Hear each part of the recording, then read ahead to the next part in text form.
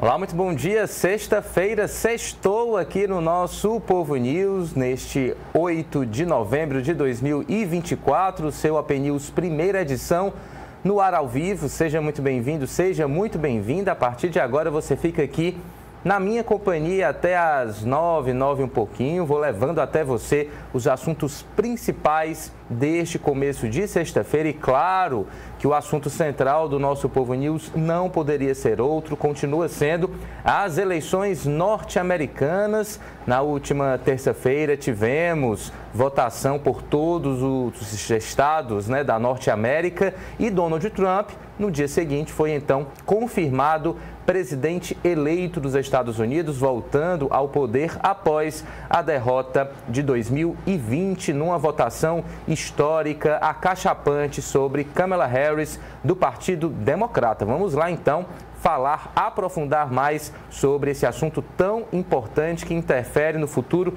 não só dos Estados Unidos, mas também do mundo. Já vou pedindo aí para você ir deixando o seu like, participando da nossa enquete, que já já eu trago uma nova parcial. E poucos dias após ser eleito presidente dos Estados Unidos, Donald Trump já começa, inclusive, a montar o seu governo, já iniciou o processo de escolha de secretários e outros funcionários do alto escalão para o próximo governo dos Estados Unidos, que começa em janeiro do ano que vem. Lembrando que o republicano derrotou a democrata Kamala Harris nas eleições da última terça-feira, dia 5.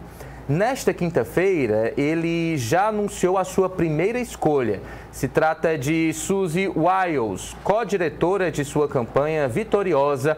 Ela será a chefe de gabinete. É a primeira mulher, inclusive, a ocupar esse cargo na história. Vai ser o braço direito de Donald Trump. Abre aspas. Suzy Wiles acabou de me ajudar a conquistar uma das maiores vitórias da história norte-americana e ela foi parte integral das minhas campanhas vitoriosas de 2016 e 2024, disse o republicano em nota. Wiles é vista como a grande força por trás do caráter mais disciplinado e organizado dessa última campanha do empresário, campanha à presidência dos Estados Unidos, uma diferença substancial em comparação com o caos que marcou os intentos de 2016 2016 e também 2020. Sua experiência em Washington, porém, é exígua e data de décadas atrás. Ela trabalhou na capital americana durante o governo Ronald Reagan, de 81 a 89, e também para o deputado de Nova York, Jack Kemp, de 87 a 89. Qual vai ser a missão agora então de Suzy Wiles? Ela terá a missão de supervisionar o dia a dia da Casa Branca, uma tarefa muito difícil para os seus antecessores sob a égide sobre o governo Trump. No primeiro mandato, o empresário teve quatro chefes de gabinete. Entre eles, John Kelly, que às vésperas do pleito chamou o ex-chefe de fascista em entrevistas a veículos norte-americanos. Então, há toda uma expectativa em relação a Suzy Miles, a importante produção que a gente tem a imagem da futura braço direito da, do presidente Donald Trump, presidente eleito. Inclusive, como a gente já adiantou aqui, ela é conhecida como a organizadora do caos. O G1 trouxe até aqui um rápido resumo sobre quem é a nova braço direito de Donald Trump. Ela se auto-intitula organizadora do caos e tem um perfil low profile, ou seja, não gosta muito de aparecer. Aos 67 anos, sendo 40 deles dedicados aos bastidores de campanha do Partido Republicano, Suzy Wiles é hoje a conselheira mais poderosa e influente de Donald Trump, ex-presidente que foi eleito para um novo mandato, vai voltar aí a comandar a maior potência do mundo. Essa explicação é de Maurício Moura, ele é doutor em economia e gestão pública e também professor na Universidade George Washington, nos Estados Unidos, abre aspas. Ela é uma operadora de eleições. Ela é conhecida como uma gerente de campanha muito eficiente e ela é uma pessoa, como os americanos gostam de falar, low profile.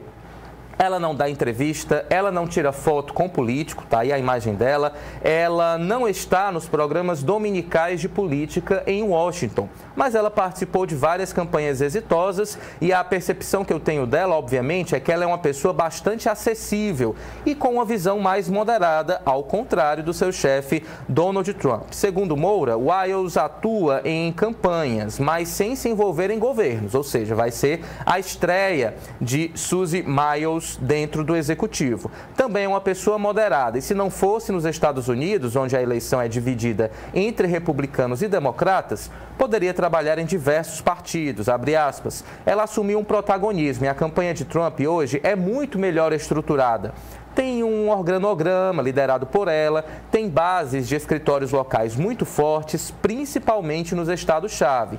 Então a gente também deve aí atribuir a essa vitória de Donald Trump a participação central e efetiva de Suzy Miles. Essa opinião é parecida com a de Brian Winter, que é editor-chefe da revista americana Quarterly, que também participa é, dessa entrevista concedida ao G1.